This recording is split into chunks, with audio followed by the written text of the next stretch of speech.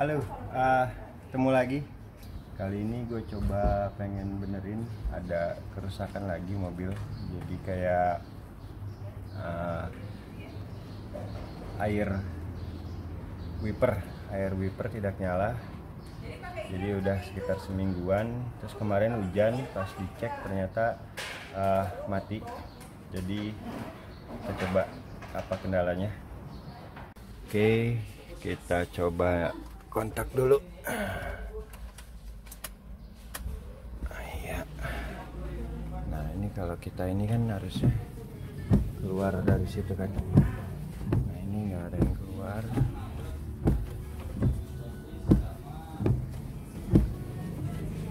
Oke, kita coba cari problemnya apaan. Jadi semoga uh, bukan motor, kalaupun motor mungkin semoga cuma kesumbat atau gimana.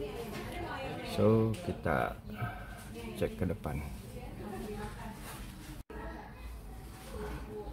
Oke kita ah, kita coba matiin dulu biar nggak konslet kalau ntar habis ngelepas motornya. Ya. Oke ini adalah saluran untuk keluaran air wipernya. Sini kak, bentar kak. Nah, terus ini salurannya udah ketemu masalahnya ternyata ini putus di ujung salurannya. Putus jadi kayaknya kemakan tikus. Jadi sambungannya itu adalah ini. Nah, kelihatan nggak? Oke. Nih sambungannya adalah ini. Ini putus harusnya ke sini. Jadi kita coba sambung nih tikus tikus bajingan kurang makan kayaknya tikusnya jadi selangnya dimakan jadi kita coba dulu nyala apa enggak. Oke. Kakak. Nah ini namanya kakak Iu nih. Ini kak coba nyalain itu kak. Di kontak mesinnya kontak mesinnya yang di sebelah sana. Handle yang tadi wiper. Nah itu. Diituin lagi. Ya oke ya lakuin. Nah motornya nyala. Mana coba kak? Nah tuh keluar air. Lagi kak. Lagi lagi. Oh airnya habis kayaknya. Tunggu dulu. Kak udah kak.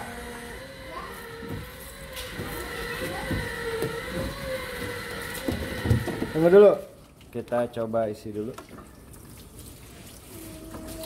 kayaknya kemarin udah dicoba-coba cuman akhirnya habis tapi nggak keluar ke atas. Jadi kita coba isi untuk oh iya benar habis nih. Nggak penuh-penuh.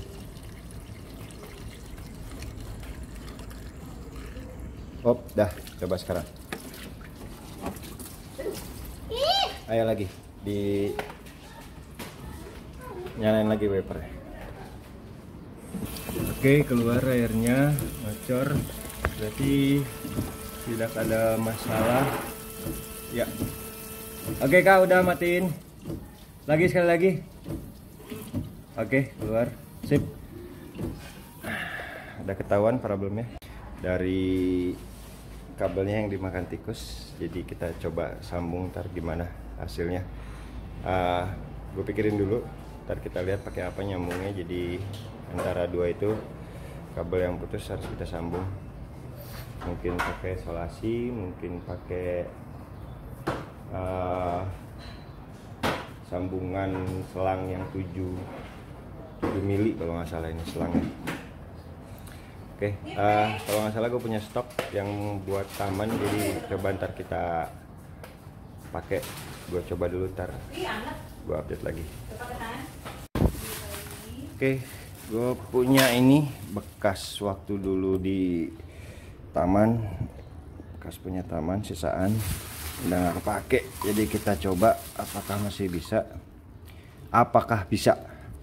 Jadi ini kayaknya nih, ini buat sambung antara dua semoga cukup coba kita testing apakah masuk karena kayaknya sama selangnya sama-sama uh, 7 mili.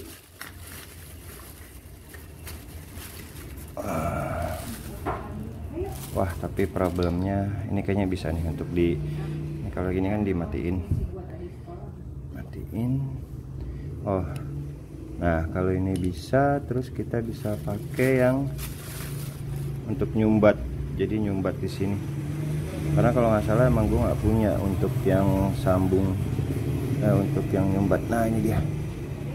Nah, nah ini dia. Ah, bisa nggak ini? Oh nggak bisa ya.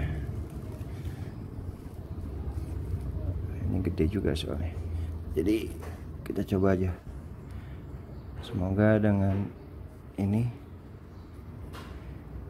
kita bisa ngelakuin. Nah ini ntar kita kunci aja jadi air nggak keluar dari sini oke kita coba testing dulu sebelum kita potong.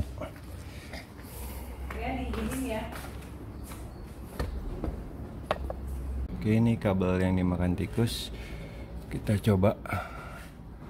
Masuk gak yes pas ukurannya. Oke pas nah cuman berhubung ini ada yang bolong. Ini bolong jadi kita akan motong sampai segini nih. Cuman kayaknya jadi terlalu panjang tapi ntar kita coba dulu. Nah, mungkin ntar ininya yang kita kita sesek-sesekin aja. Ini nggak lewat sini ntar mungkin nambung aja langsung. Biar bisa ketemu. Karena ini dipotong berarti kan jadi pendek. Ketika jadi pendek berarti sampai sana nggak nyambung. Jadi harus kita padetin lagi kabelnya. Jangan ada renggang-renggang.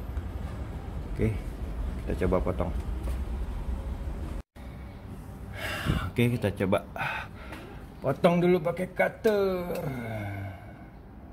Cari posisi yang Kasihnya dong, jangan ayamnya doang. Ini besar banget. Ayamnya kecil aja kali ya. Nggak ada sedikit kalau Jadi cuci tangan kan? Ini yang kita pendekin. Kita potong segini. Semoga nanti cukup sambungannya. Kita buang. Sekarang kita pasang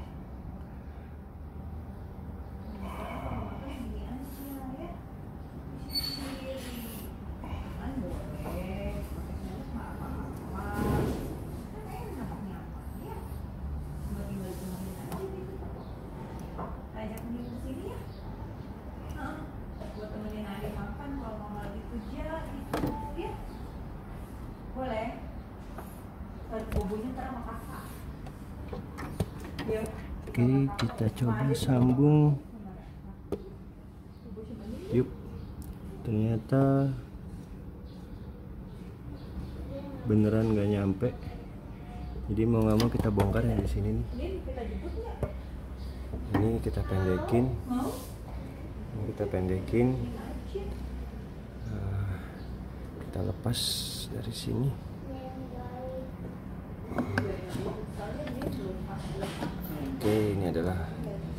pembetulan sementara. Nah kita lepas.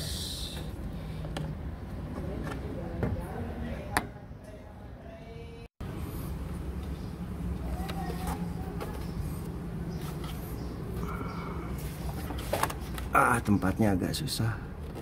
Tangan nggak masuk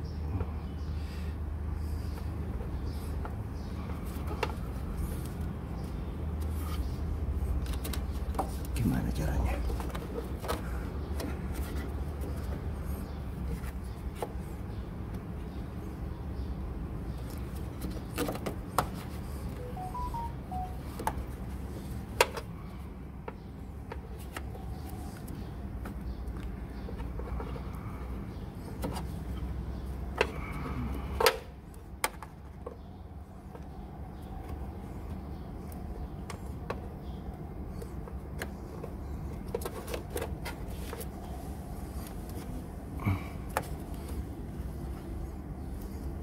nah dapat Oke, akhirnya berhasil. Ini udah kesambung. Jadi kita kencengin ininya nih. Kita kencengin biar air dari sini nggak keluar. Jadi dia bisa menyembur dengan normal. Nah, ini kan harusnya ada awas mobil. Ini kan harusnya ke sini. Dari sini ke sini. Jadi kita bypass sedikit.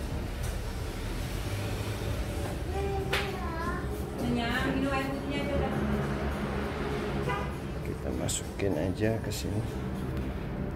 Semoga nanti kalau pas ditutup.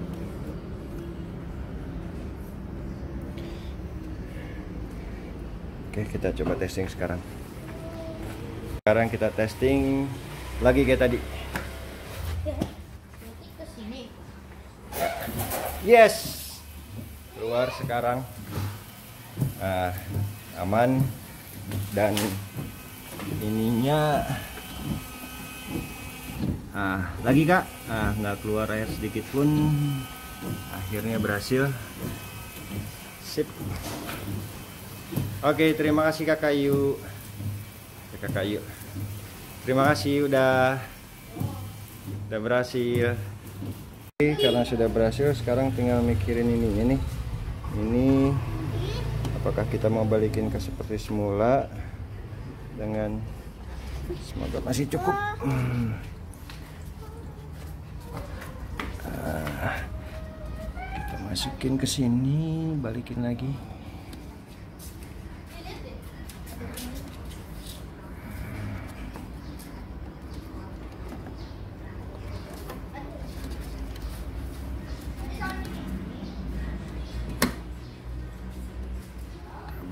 sini kita masukin. Nah semoga dengan berkurang sedikit gara-gara dipotong kita masih tetap bisa untuk nutup. Oke kita coba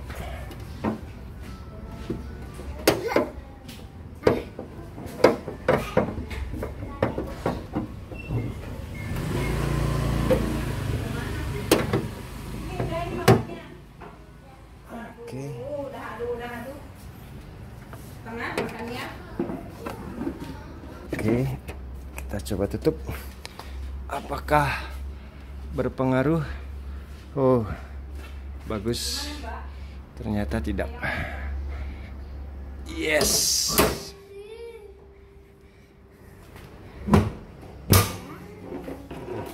Sekarang kita tinggal ngeset dia. Kita setting untuk posisinya biar tepat di situ. Kita panggil lagi kakak Yu oke kakak Yu oke nyalain nah, jatuhnya di situ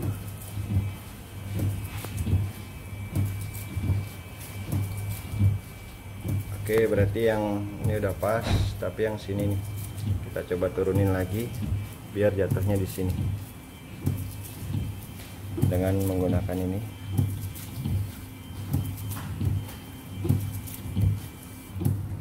Tar dulu, Kak.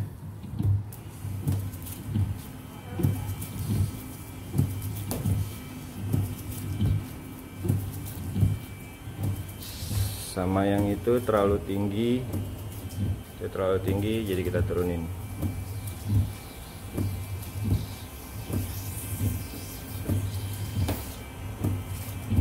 Oke segini.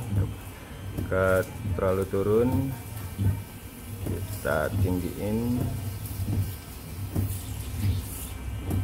Kita tinggiin lagi. Uh terlalu jauh ntar dulu kak. Jangan nyalain dulu. Ah pas. Oke. Itu pas yang satu jatuhnya pendek yang satu di ujung. Yang satu di ujung yang satu jatuhnya pendek.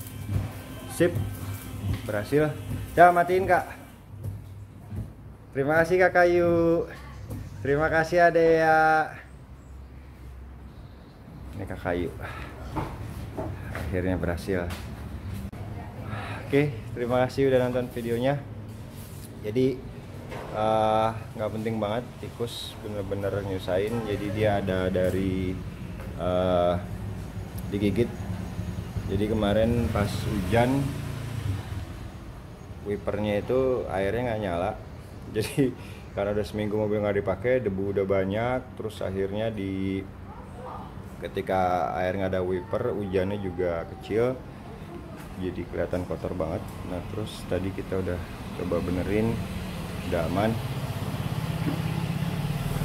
Oke sampai ketemu lagi di video berikutnya. Assalamualaikum